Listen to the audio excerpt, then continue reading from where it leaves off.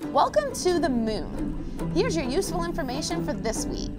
The moon's temperature ranges anywhere from negative 279 Fahrenheit at night to 260 Fahrenheit during the afternoon. And people on Earth always see the same side of the moon. That is where the saying comes from, the dark side of the moon. Because people think that Holy Family, we have a problem. Ground control, Major Elliott, are you there? We need to return to Earth. Roger. We'll be up there right away. Okay, so just hurry up.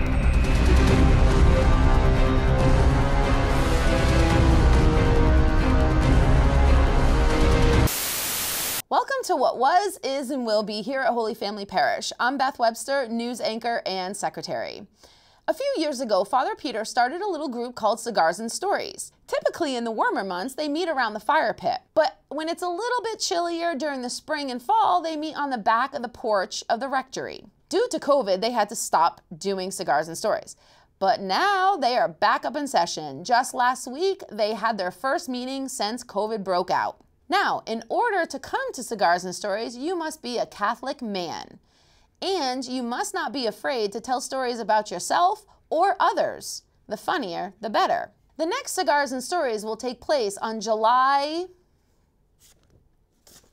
21st.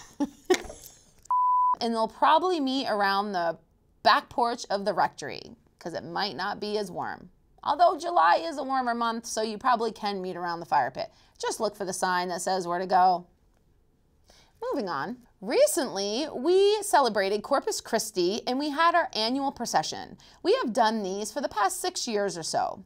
So what we did is we took the Blessed Sacrament and about 60 of our parishioners and we walked about three-fourths of a mile around town, bringing Jesus out to the world. We want to say thank you to everybody who played a special part in this day where you had a special job to do. We also want to say thank you to all those who came out and walked the whole time or just participated in the event. We also want to give a huge thank you to Rick Thompson for taking time out and cooking a wonderful breakfast for us when we were all done with the walk. Let's go to a clip to see about this wonderful experience. Today we celebrate the Feast of Corpus Christi, the body and blood of Jesus Christ. We as Catholics believe in the real presence of Jesus in the Eucharist. And so during this day, we celebrate with Mass with our pastor, Father Peter, and then we do a procession. And we do a procession around town to show our faith and to show that we believe in the real presence of Jesus Christ.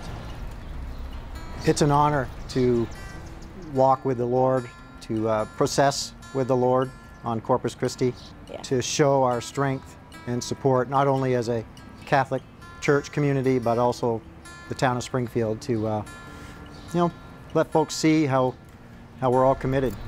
I actually came in from out of town this morning. I drove an hour and a half to come back to town just to be in this procession. The community uh, of worshipers just fills my heart with joy um, and, and being asked to do the rosary, which I am not someone who prays the rosary. I need to pray the rosary.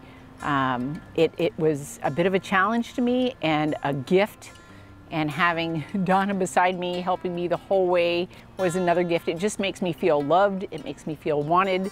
Um, and it, it just renews my belief in people and always, always strengthens uh, my faith in the Lord God. It is incredible to think that we have the real presence of Jesus Christ with us.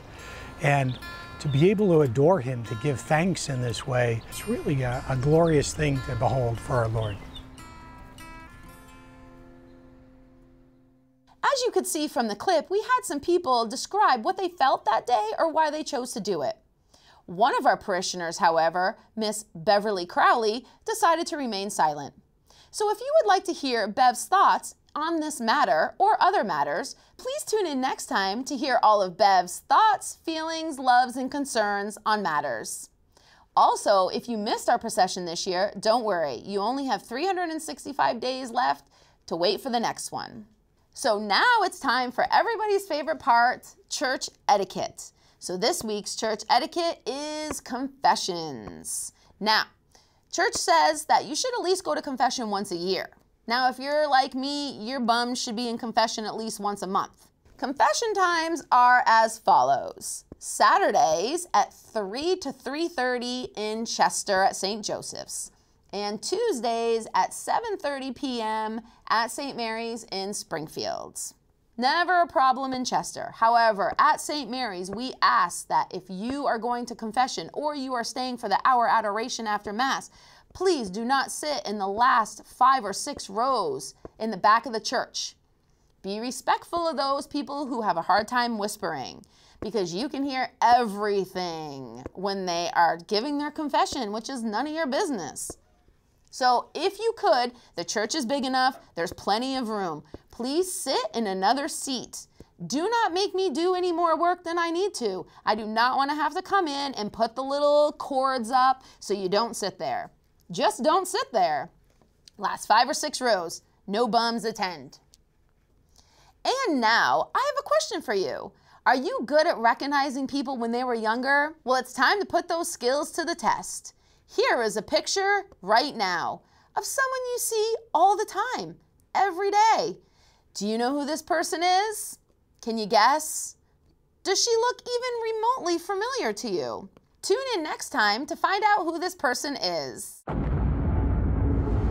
Elliot, Elliot, come in. Are you there, Elliot? I guess we're just gonna have to go on without him. Welcome back to the moon, Secretary Tip Gospel of Beth. Don't worry about making waves just by being yourself. The moon does it all the time. Elliot, Elliot, where are you?